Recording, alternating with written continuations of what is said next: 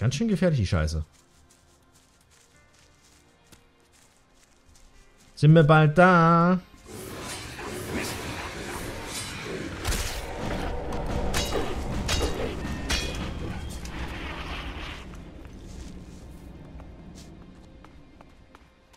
Sind wir bald da? Und stopp. Bis hierhin sollte reichen. So, jetzt mal raus mit der Sprache. Warum hast du mich hierher geführt? Was willst du hier? Eigentlich gar nichts. Ich wollte nur mal sehen, was du auf dem Kasten hast. Wenn ich dein Waffengefährte werden soll, kaufe ich doch nicht die erstbeste Katze im Sack, oder? Irgendwas sagt mir, dass du Ärger mit jemandem hast. Und jetzt rennst du in Tavar hin und her und versuchst irgendwie davor wegzulaufen. Ich sehe schon. Dir kann man nicht so schnell was vormachen, was? Versuch nicht abzulenken, also was steckt dahinter? Willst du das echt wissen? Ja. Na gut. Ich, ähm, sollte eigentlich schon längst wieder am Vor sein. Ich hatte den Auftrag, Fleisch zu besorgen. Krieger tun sowas manchmal, obwohl es ja eigentlich die Aufgabe der Werker ist. Aber, naja, irgendwie habe ich wohl die Zeit vergessen und bin schon etwas drüber. Aber nur ein kleines bisschen. Wann solltest du das Fleisch abgeben? Die Jungs aus dem Fort haben mir zwei Tage gegeben. Und wie lange ist das her? Ach, so auf die Stunde genau kann ich das gar nicht sagen, aber etwa zwei Monate?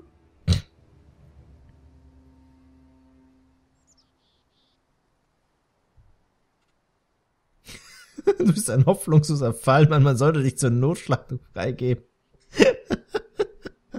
so, so.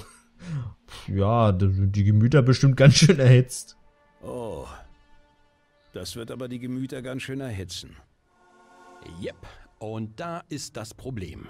Wenn ich mich jetzt wieder regulär zum Dienst melde, dann werde ich vermutlich einfach eingebuchtet. Blöde Geschichte, was? Ich bin nämlich eigentlich viel lieber hier draußen. Nachvollziehbar. Find ich eben auch. Und wie lange willst du das noch machen? Wie lange willst du das hier noch durchziehen? Irgendwann wirst du zurück müssen ins Vor. Ja, oder auch nicht. Es sei denn, ich lauf mal einem Warlord über den Weg, der den Jungs im Fort erzählt, dass ich auf einer ultra wichtigen Mission bin oder so.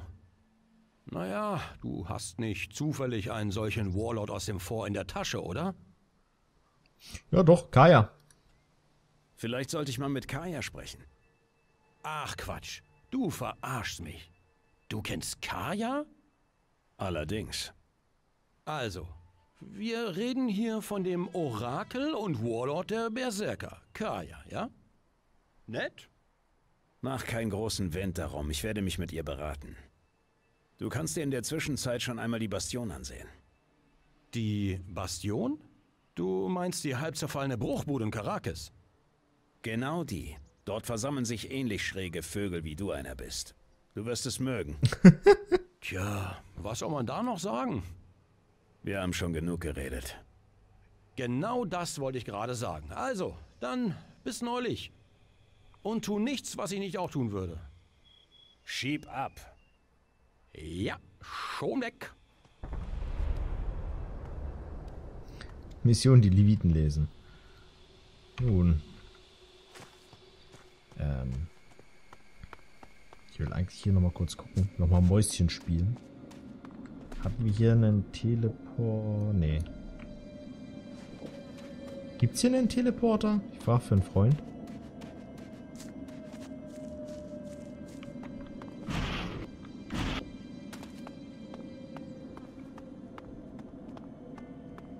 Oh ja, hier gibt's einen.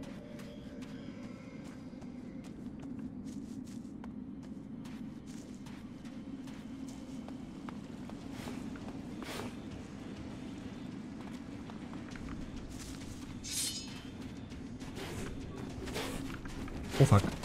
Äh, ja, okay, ciao.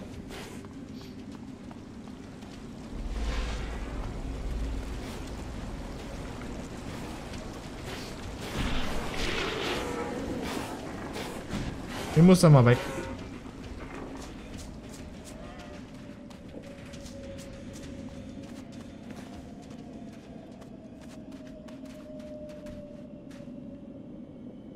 Wenn ich sehe, was die Viecher gerade so ausgehalten haben noch.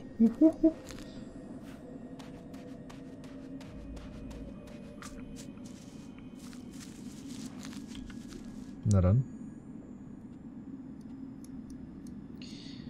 Ähm, Bunker des Dukes. Ja, ja, ja, ja, ja. Sollte passen.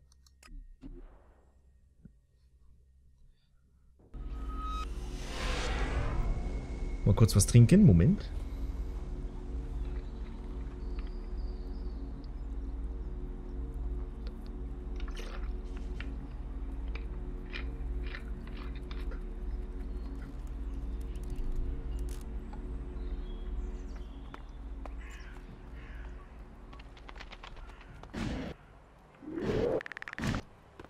Haben die ja keine Aufgaben für uns? Ich bin für die Ausbildung der Berserker zuständig. Sieht nicht so aus. Halber. Ach ja, war fertig. Da möchte ich gerne nochmal aufräumen, aber da wird so schnell nichts.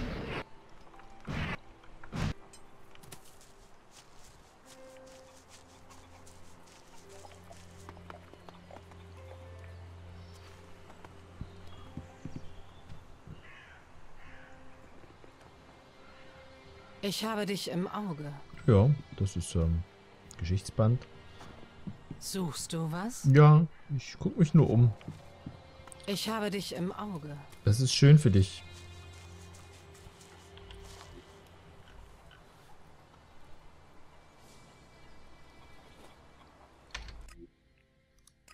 Nehmen wir den Marker da weg.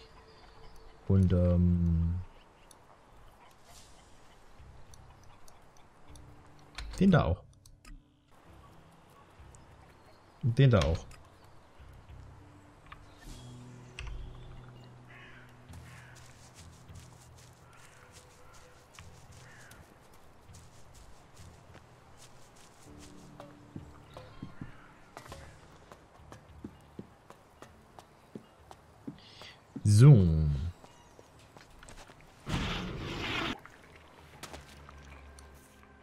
Später. Ich habe jetzt mit meinem eigenen Kram genug zu tun. Ähm. Aber.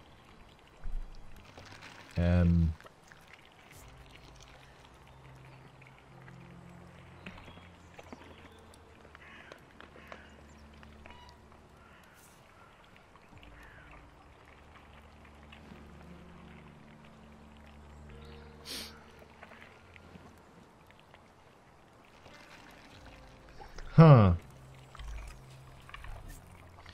Sag mal, Später. hm, das ist jetzt schlecht.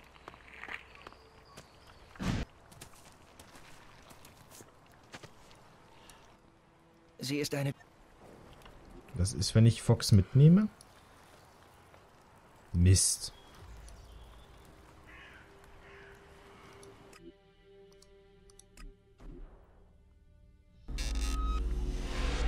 Das ist natürlich schlecht. Ich glaube, ich habe einen Bug gefunden.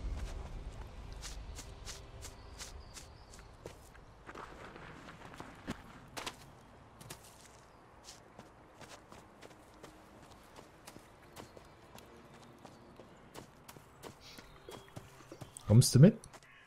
Und vergiss nicht, was du sagen wolltest. Ich habe jetzt erstmal Sendepause. Oh, shit.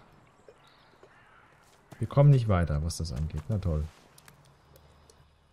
Mach dir keine Sorgen. Dann müssen wir erstmal andere Quests machen. Doof. Wollte den gerne mitschleppen, verdammt. Ah.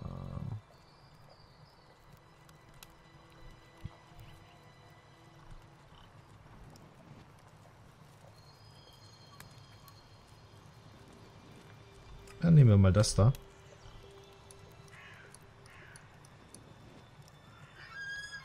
Azok. Können wir mit Azok mal reden. Das heißt, bevor wir nicht den nächsten Passus oder so anstreben, wenn sie wieder mit uns quatscht, ja, dann geht das nicht. Schade. Ist ja blöd.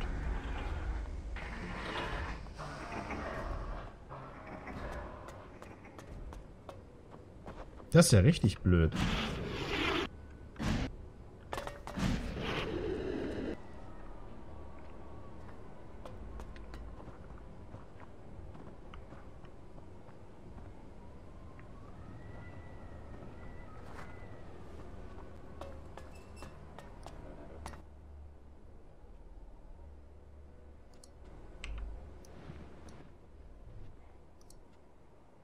Cora sagt, du verhinderst ihre Expedition. Redest du von der Wissenschaftlerin Cora? Jene Cora, die von mir Soldaten haben möchte, um ein Himmelfahrtskommando zum alten Konverter zu unternehmen, nur um irgendwelchen vagen Gerüchten nachzugehen?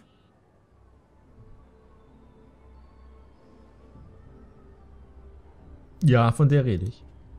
Ja, von der rede ich. Hätte mir denken können, dass sie nicht locker lässt. Seit diesem Experiment ist sie äußerst schwierig geworden.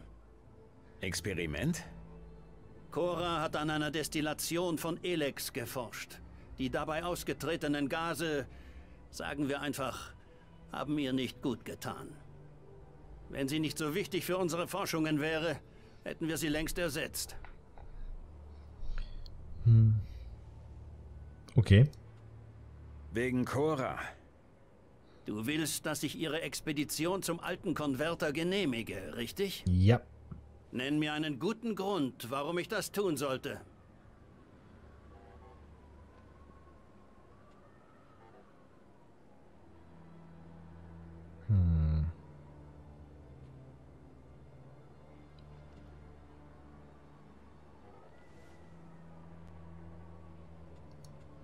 Ich werde dafür sorgen, dass die Expedition ein Erfolg wird.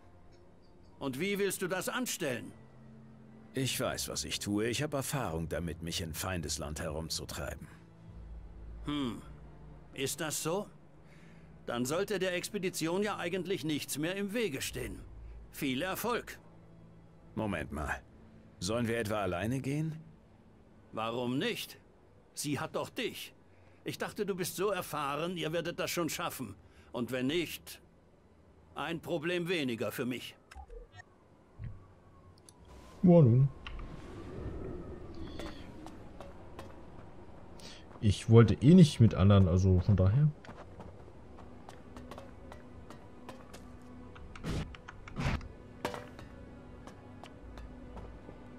Dann gehen wir mal.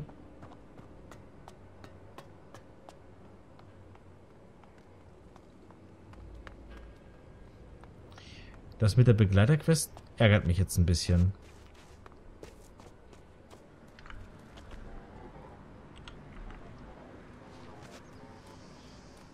So, wo ist denn die Tante?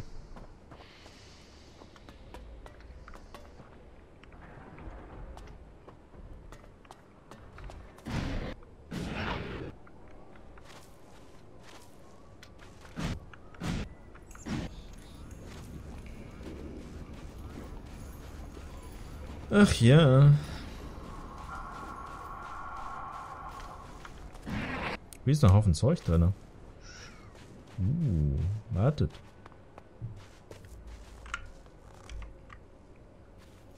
Können wir uns da bedienen oder ist da jemand da?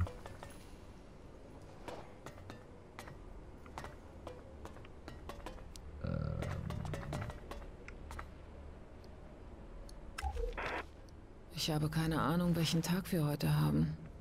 Um mich herum ist alles still geworden. Ich zittere am ganzen Körper. Sie sprechen mich nur mit der Bezeichnung Subjekt 42 an. Hier geht irgendwas vor sich. Ich kann aber nicht erklären, was es ist. An die frische Luft darf ich auch nicht. Das Einzige, was Sie mir gelassen haben, ist dieses Aufnahmegerät. Überall scheint auf einmal Blut zu sein. Ist es echt? Oder bilde ich mir es nur ein? Auf dem Boden, an der Wand, sogar unterm Tisch. Wo kommt das bloß her? Ich muss hier raus. Es fühlt sich alles so falsch an. Okay. Subjekt 42 weigert sich weiterhin mit uns zu kooperieren. Die Aufnahme der Medikamente erfolgt ab sofort über die Nahrung. Daher werden die Substanzen vor der Verabreichung in die Lebensmittel gespritzt. Die Durchführung der Versuchsreihe ist damit gewährleistet. Es wurden Auffälligkeiten in der Gestik und Mimik des Subjektes beobachtet. Starkes Schwitzen und zitternde Hände sind ebenfalls wahrzunehmen. Das Subjekt spricht kaum noch. Falls eine Unterhaltung zustande kommt, ist es schwer zu verstehen. Zusätzlich wurde festgestellt, dass es halluziniert.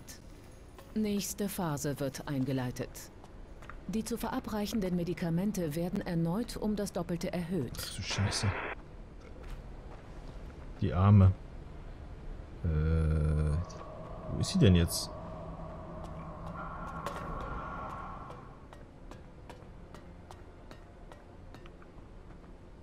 Ach da. Hi.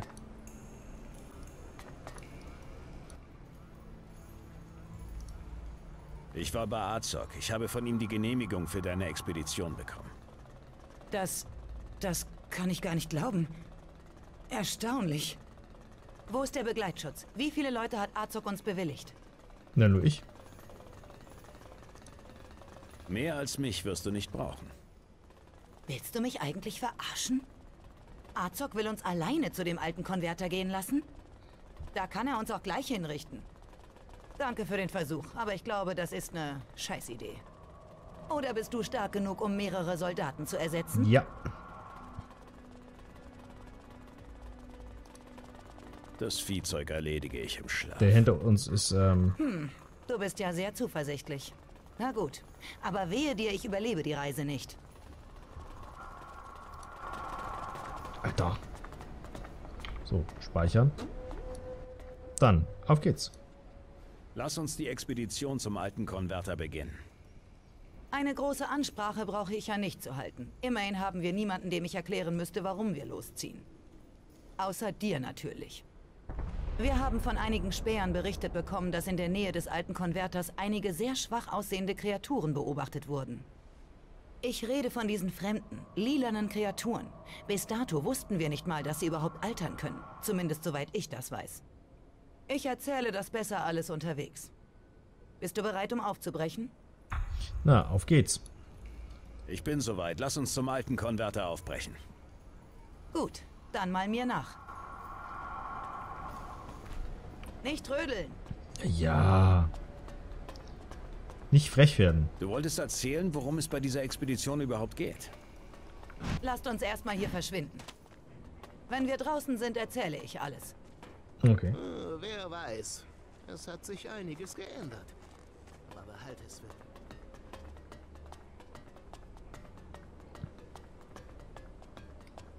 Bin ich ja mal gespannt. So, jetzt habe ich F8 gedrückt, jetzt kommen wir aus der Nummer nicht mehr raus. War wahrscheinlich nicht die cleverste Idee. Sind wir alle noch beisammen? Sieht wohl so aus. Gut, dann weiter. Und lasst uns einen Zahn zulegen. Ihr habt ja alle gesunde Beine. Es bin doch nur ich. Was ist eigentlich damals passiert? Was meinst du? Du bist viel emotionaler als andere Alps. Ach, das meinst du. Erzählst du mir jetzt, warum das so ist? Alles, was du wissen musst, weißt du bereits. Hm. Ich sollte vielleicht langsam mal erklären, was wir hier eigentlich machen. Na dann. Ihr kennt diese lilanen Biester, die Marakor quasi überrannt haben? Es gibt Gerüchte, dass an dem alten Konverter einige dieser Dinger gesichtet wurden, die merkwürdig schwach aussahen. Wir sind auf dieser Expedition, um Gewebeproben von ihnen zu holen. Und dafür brauche ich dich. Du musst sie für mich töten. Lebendig lassen sie wohl kaum saubere Proben aus sich herausschneiden. Was ist so besonders an diesen Viechern, außer dass sie schwach aussehen? Aber genau das ist das Besondere an ihnen. Soweit ich weiß, kennen wir nur bestimmte Klassen von ihnen, die sich innerhalb dieser kaum voneinander unterscheiden. Zumindest soweit ich das weiß. Mir wird ja nichts erzählt. Meine Sicherheitsstufe ist nicht hoch genug. Aber ich schweife ab. Auf jeden Fall versuche ich mit den Gewebeproben herauszufinden, wie diese Kreaturen entstehen. Werden sie geboren, konstruiert oder nur modifiziert? Ich weiß es nicht. Vielleicht lässt sich aus dem Wissen um ihre Beschaffenheit ein Nutzen für uns ziehen. Das ist zumindest meine Hoffnung. Moment, ich bin ein bisschen stiller, weil äh, Viecher und so. Von uns müssten sie ursprünglich hergekommen sein. Aus Marakor. Aber da gehen wir besser nicht hin. Viel zu gefährlich.